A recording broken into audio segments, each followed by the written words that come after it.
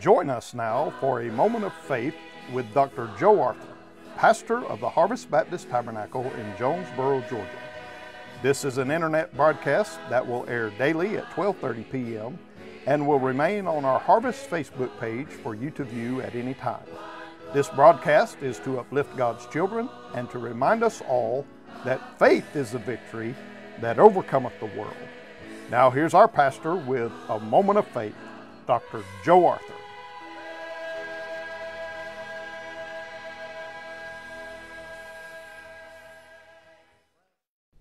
And greetings today to all of our watching and listening friends.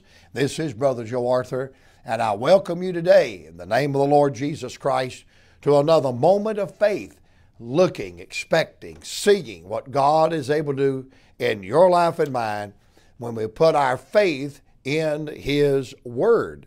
Well, it's a blessing today to have one of my young buddies with me today.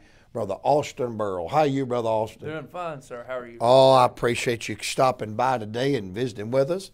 And uh, I love Brother Austin here. Let me tell you why. His grandfather was Dr. Walter Burrell from Cornelia, Georgia. Brother Walter was a pastor slash evangelist, Evangelist, you know, for 50 some years. And he was great friends with my hero, Kelly. Billy Kelly. And uh, they were two peas in a pod. Oh, now, absolutely. now, son, when they got together, it was on. Oh, yeah. It, it- no, it wasn't always spiritual, Austin. It wasn't always spiritual, but it was good. Oh, yeah. And Walter Burrell was a man of God, Austin. Yes, he was. He was a man of God.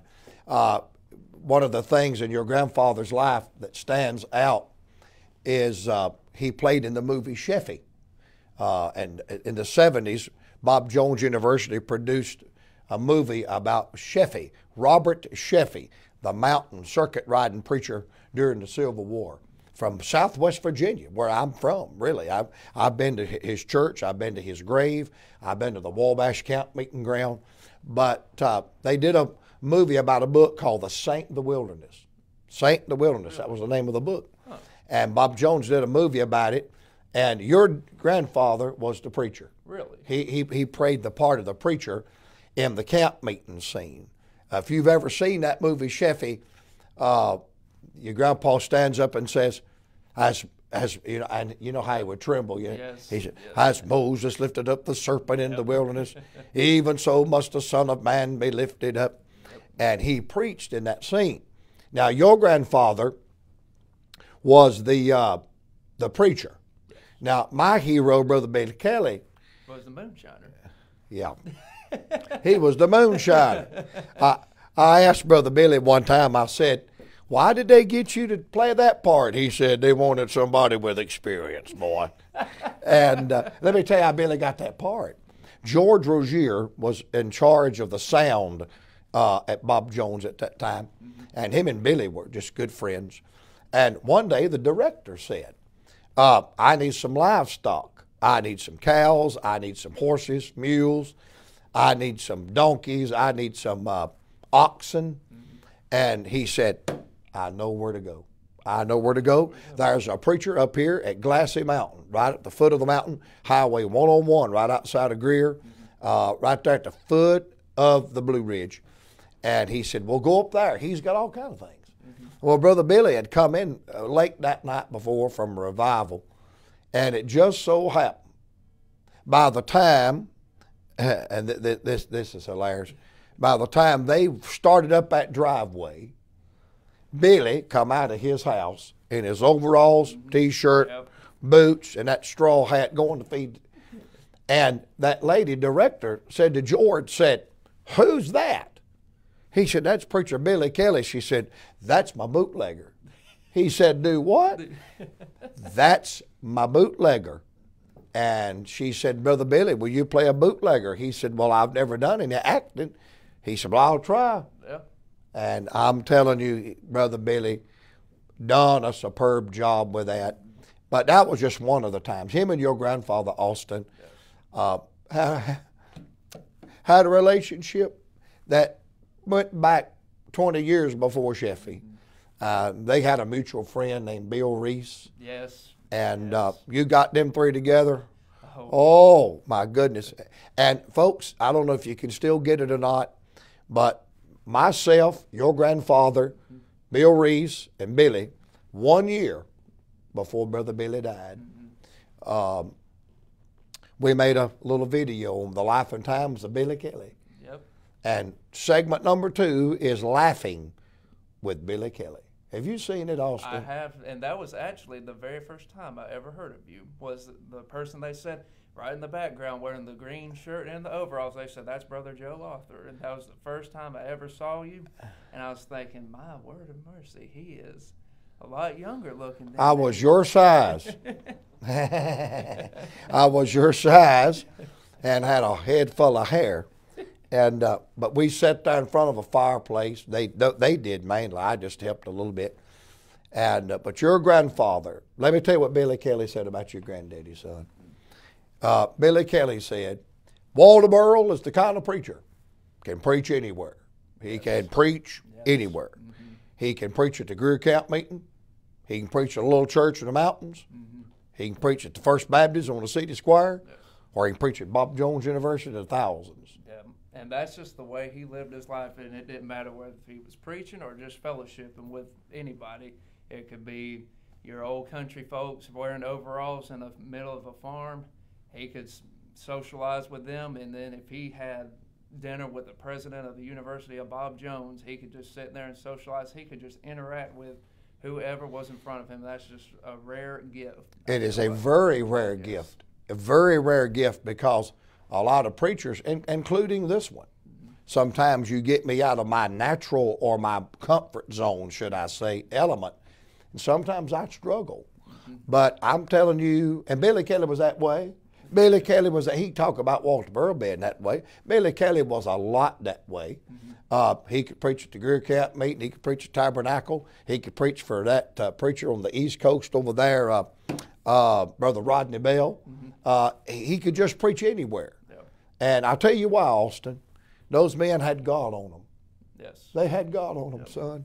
They they were anointed of God and blessed of God. They have the power of God upon their life. And and the reason why I want to interview to, interview you today, Austin comes down and spends Sunday with us a lot, and uh, I wanted our listeners to to know and see. Here's a young man. How old are you, Austin? 23. 23 years old. That's not ashamed No. of his family. No, I am not. They're, they're not ashamed. He's not ashamed of his heritage.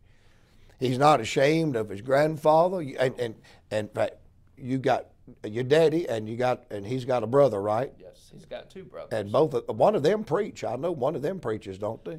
It's just him, sadly. Your daddy's the one that preaches, That's the preacher. and one's an airline pilot, right? Uh, that's the baby. That's and the youngest. yeah, and the other one's a bootlegger, right? Yeah, no, that's right. no, no. What's he do? he works at Wrigley's. All right, the gum keep the He's the gum chewer. Yeah, okay. and uh, but his family goes to church. All of Walter's kids go to church. Your grandmother's still living. She's still living. How old is your grandmother? She, I believe, is 82. She's still pretty though. She comes to the Greer Camp meeting every year, and uh, but he's not ashamed of his heritage, not ashamed of the way he was raised, uh, not ashamed of the old time religion. In fact, right before we went on the air, you was telling me about the day your daddy led you to Christ, and uh, just tell me about that little bit about going to see your grandpa and how happy he was, man. He was just ecstatic because whenever we pulled up into their driveway, he was out in the backyard just mowing grass. It was a late summer night, and whenever I come out there, my father he waved him down, and he got off the lawnmower, come walking up, and he asked, you know, what what are you interrupting me for? And Dad said. Uh, Austin wanted to tell you something. I told Papa, I said, I got saved, Papa. I got saved, and you talk about the biggest bear hug you ever would receive. He he was just so happy and saying, I'm so proud of you. I'm so happy for you. Oh, It's a memory I will always remember. Oh, I know you will, son. Yes. Uh, not just being saved, but been able to share that with your grandfather, who was a mighty man of God. The last time me and your grandfather got together, I was preaching in, in the Greensboro, North Carolina area. He was preaching at Charity Baptist for Roland Shepley, dear friend of mine. And uh, we met at the Cracker Barrel. In fact, I know who I was with. I was with Mark Agan in Community Baptist Church over that Siler City. And Mark and myself, Jimmy Dillon, who's with the Lord now from the uh, Shining Light Baptist Church in Greensboro, Brother Roland and your grandfather. I think maybe Tyler Golden might have been there. Several preachers were there. And we laughed. We ate. We laughed, ate, fellowship, cried, and uh, got outside. Had my picture made with him and Jimmy Dillon. Little did I know that'd be the last place on this side of the river, you know, that we would we would meet. But I appreciate you joining me today. It was an honor. And uh, Thank you so much. Austin, we thank God for you. And thank you for not being ashamed of old time religion, son. And I just want our listeners to know praise God every once in a while, somebody will hear it. Yes. It'll get a hold of somebody. They'll stay with it, and it'll stay with them. Yes. And they'll be a champion of the old time way. God is good today, people. And listen, that person that influenced your life, that person that won you to Christ, that one voice, One voice. that Yes. one voice, Amen. that's been our theme, that one voice that pointed you in the right direction. Thank God for the people that invested in your life. Austin, thank you for joining us today. It's a pleasure. And folks, we love you, and we'll see you again tomorrow. I'm excited about what God's going to do in a moment of faith.